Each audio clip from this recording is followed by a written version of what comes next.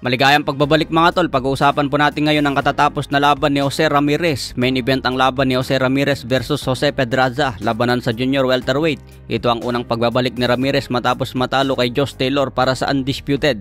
Maganda naman kanina ang performance ni Jose Ramirez mga tol pero hindi niya napabagsak si Jose Pedraza. Umabot pa rin ang laban hanggang sukdulang 12 rounds, panalo si Ramirez via unanimous decision. May bagong kartada si Ramirez na 27 wins, 17 KOs, may isang talo. Sinabi ni Ramirez pagkatapos ng laban, gusto niya makabawi kay Josh Taylor. Kung hindi daw niya makalaban si Taylor at umakyat ng dibisyon, kukunin pa rin daw niya ang belt kung mabakante. Dating hawak ni Ramirez ang Unified WBC WBO pero natalo kay Taylor. Kaya gusto daw niya ulit mag-champion sa junior welterweight bago umakyat ng dibisyon. Sa ibang balita naman, Jeyo Santissima, naging maayos naman ang kalagayan pagkatapos ng laban. Makikita po natin sa official scorecard mga tol. 6 rounds na po ang nakuha ni Joet Gonzalez sa loob ng 8 rounds. Ibig sabihin 2 rounds pa lang ang binibigay kay Santissima. Kahit natapos at nakuha pala ni Santissima ang round 9 at round 10.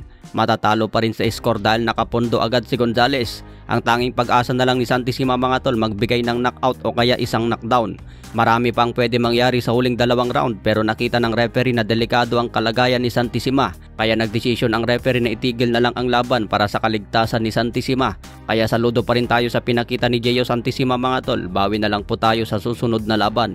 Sa ibang banda naman Guillermo Rigondo nasabugan ng rice cooker sa katawan at muka. Sumabog daw ang rice cooker sa harapan ni Rigondo mga tol. Naapektuhan ang paningin niya at nagkaroon din ng injury sa katawan kaya dinala agad sa ospital. Sana makarecover agad si Rigondo mga tol, mahirap kung maapektuhan ang paningin niya. Ito ang importante sa isang boksingero. Sa ibang banda naman Canelo Alvarez naging prangka kay Ryan Garcia. Wala daw pakialam si Canelo sa mga sinasabi ni Ryan kay Eddie Reynoso. Ang pagkakaalam daw ni Canelo isang magaling na trainer si Eddie Reynoso. Tinanong din si Canelo tungkol sa sinabi ni Oscar De La Hoya. Sinabi kasi ni De La Hoya, darating daw ang araw na maglalaban si Ryan Garcia versus Canelo. Kaya ito ang tinanong kay Canelo kung posible niya makalaban si Ryan Garcia.